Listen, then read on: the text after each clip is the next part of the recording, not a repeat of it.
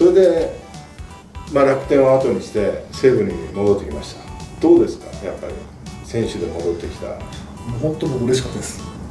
まさかあのー、西武で育ちフレジェンド出た人間が最後こうライオンズから声をかかるとは正直思ってなかったので。そうか。本当思ってなかったです。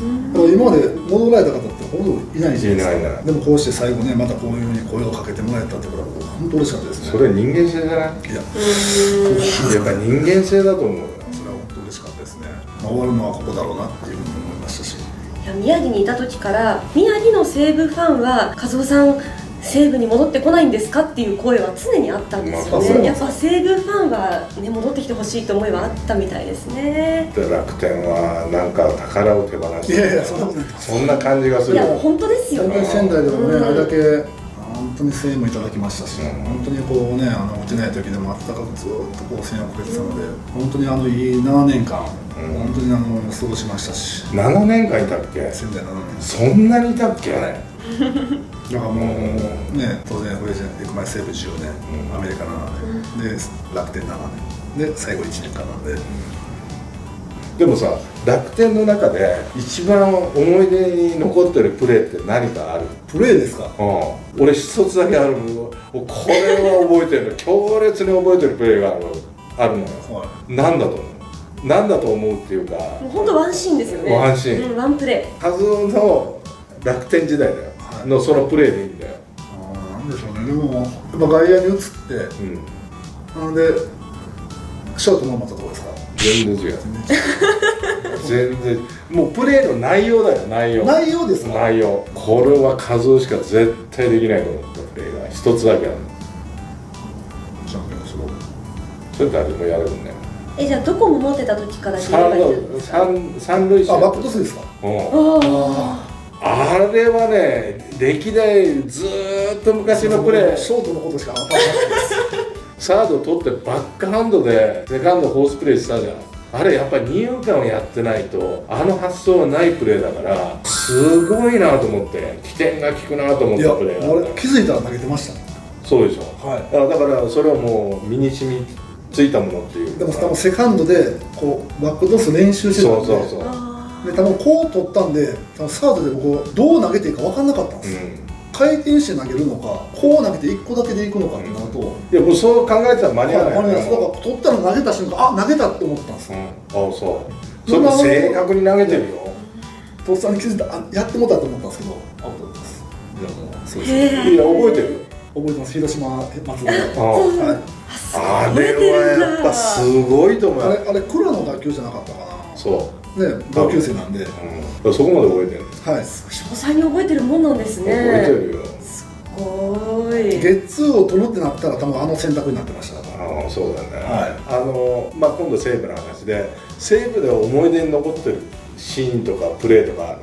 最後1年間ですか。うんまあ最後1年間でもいいけど。でも最後1年でしたらちょうどオープン戦だったんですけど、ん。代打で出た時にすっごい声援もらったんです千声援うん。もうねあの声援がもう本当忘れられなくて。あまさかねその戻ってきてここまでこう声援をいただけたのかってなると本当オープン戦士が鳥肌立ちましたーちょちょっと待ってくれるあなたすごい人気あるの。いやもえう知らないんですか豊さん。ちょちょちょっと待って歴代の数ある名選手の中のトップクラスにいるんだよ。そういう自覚ないまああんまり自分では自覚持たないかもわかんないけどあんだけ声援いただけると思ってなかったんで僕の中で。そのオープン戦でも、ええそう。僕も本当鳥肌立って。いやでも球界離れなかったら日本球界をおそらく3000本いったと思うよ。あ じゃなくていや絶対行ってるから。それ自信あったでしょ。どうなんですかね。実際ね分かんないですけどね。だから逆にアメリカに行ったからここまで長くできたのかも分かんないですし日本にいたらまたもうちょっと違ったのかも分かんないですし。まあそれですぐ監督業に入っていくわけじゃない。はい。どう監督業って？本当右も左も分からなかったですし、うん。監督としてのその、ね、視野って僕分かんなかったですけど、うん。この視野の狭さもそうですし攻撃も守りも全て見ないといけないじゃないですか、うん。書かないといけないし見ないといけないしピッチャーもってなってくると、それ書くっていうのは何を書く、まあそのまあ、スコアみたいなのちょっと書いてます。あスコアね。はい。で、まあ、気づいた自分で気づいたことのプレーとかは書いたりはしてます。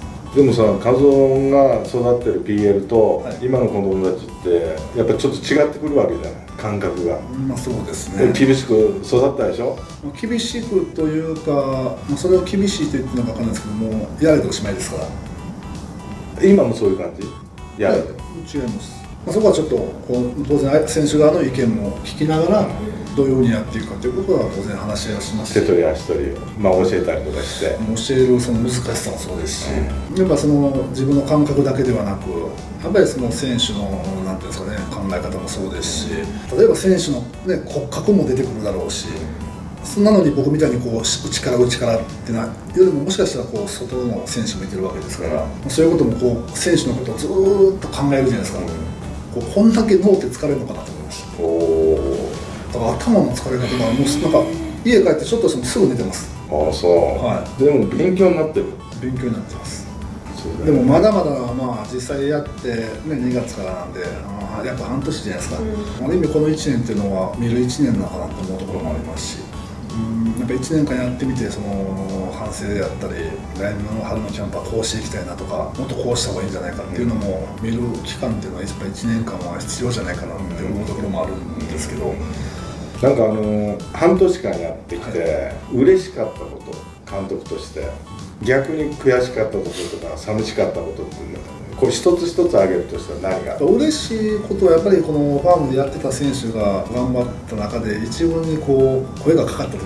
うん。あ例えば最初に誰？初め戸川も行ったんですけど、で戸川行ってホームランも打って、もうその時はもうね当然ファームの試合してまして、デーゲームの時重なる時あるじゃないですか、まあ、5回の時ちょっと休憩があるんで、戸川打ってるのかなって気になります、やっぱ気になる、お前愛情深いなやっぱ。りでまあ実際こうまた落ちてきてやっぱその選手の取り組み方が変わる時。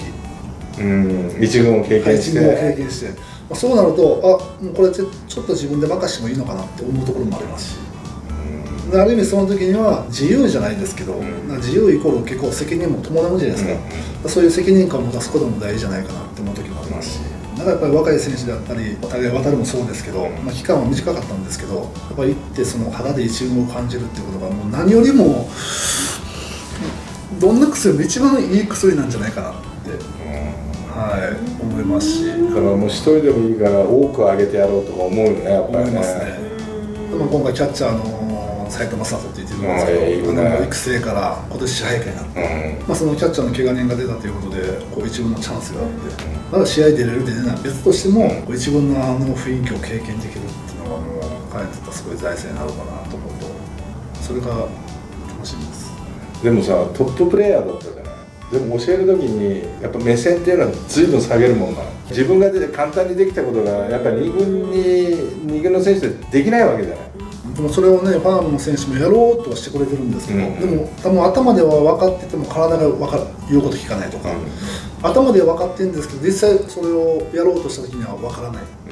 だからこっちはいいなと思ってても自分では当然分からないじゃないですか。だからそういう意味ではその教える難しさ、うん。やっぱり人それぞれこう感覚でね、うん。あってこう感じる選手もいればもっとこうもっと分かりやすく、ね、教えていかないといけないなってなってくると僕はこういう言うのは非常に難しいのかなって今思ってまして、でもっとこう分かりやすくこう伝わるのがどう伝えていこうこれ見せてやることもしてるの？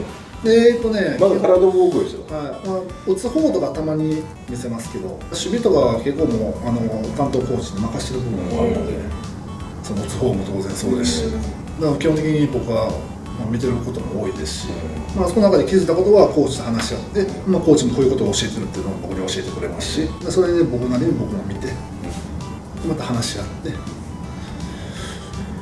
あのテレビか何か見たんですけど監督業するようになってからすごい読書するっていう、まあ、少し読んだりしますね。それなんかまた勉強のために読んでるんですか？まあ基本的に野球しかしてこなかったので。あー。まあその例えばどんな本読む話す本も読みます。1分でしゃべる話せとか、のまあ、もう全然もう話せないですけど、ある意味自分がまあ経験しないこともそうじゃないですか、はい。ってことはまあ自分が経験するか本を読んだりすることなのか、あのドラッカーのはい。マネジメントの本僕ははね買いました。絶対面白いよ。買ったんですけどたどり着いてないです。まだ。まだ読んでる疲れた。移動、まあ、遠征とか行くとそのバスの中で見たりしますし、まあ、移動するとき。でも基本的にはイースターなので関東遠征が多いじゃないですか、うん。近いからね。はい。車で移動があるし。はあとね孫子がいる。へいあんまり言ってました孫子の兵法。これはやっぱり勝負に対してどう考えるべきかっていうのはすごく参考になる。えへえあとは思考は現実化する。この3つを読むと最強になってくる。だから結構読むんですね。あ読む読む。へえこの俺のバッグには必ず3冊本が入ってるマジですか？うん。だから1冊だと飽きるから、い。飽きたら他の本を開いてへえでそれ途中で読んでいくんですか？うん。あだからこの1冊をずっと読み続けるんじゃなくてこれ飽きるじゃない。はい。真似する時あるから他の本も必ず用意をしてて他のを読む。あそういう読み方をすると飽きない本はね。お二人が多分よんこの本読んでますって言ったら多分ファンみんな買うんじゃないですかその本。なんか本出してない？言っといたら売れるかもわからない 私本出してないです。